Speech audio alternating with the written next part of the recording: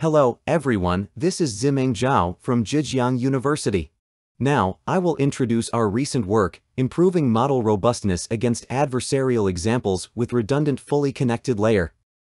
Deep neural networks are becoming ubiquitous in practice to deliver automated decisions such as face recognition. However, the emergence of adversarial examples reveals that they are vulnerable to attacks. Regarding adversarial attacks, prior works can be divided into white box and black box settings. In terms of defenses, the community has proposed a series of schemes against adversarial attacks, such as robust training and feature denoising. Nevertheless, there are still some problems when putting existing proposals into practice. That is, lacking adaptability against different attacks, influencing the clean sample accuracy, and introducing significant training time overhead. To this end, we present redundant fully connected layers to improve the model's robustness. N-redundant FC layers will replace the typical FC layer.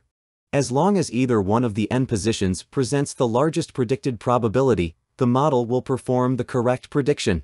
As the figure shows the redundant FC layers exhibit more robust model boundaries in a joint manner. Specifically, the final classification result can be obtained by performing an additional modulo N operation.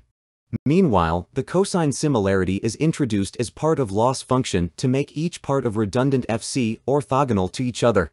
It benefits the fact that when one part of the redundant FC is attacked, the projection of the perturbation on other parts could tend to zero, thus achieving robustness.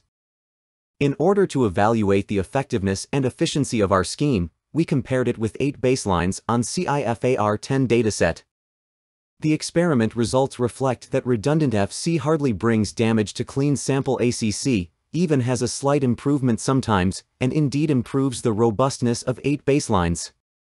Also, whether it is only training FC or training all parameters, the time overhead of redundant FC is almost the same as that of baseline.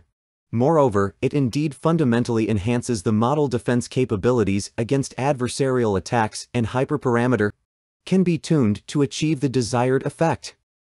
That's all, thank you very much.